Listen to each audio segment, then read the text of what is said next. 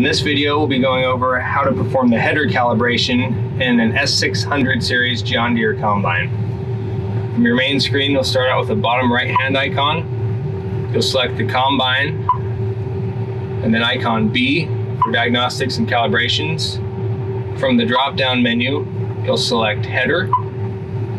That'll give you some criteria you have to meet before you can proceed. Combine on level ground, engine at high idle.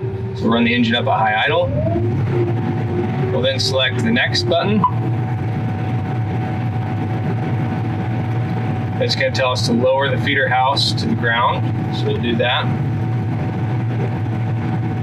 Once it's down all the way and resting on the ground, we'll select next.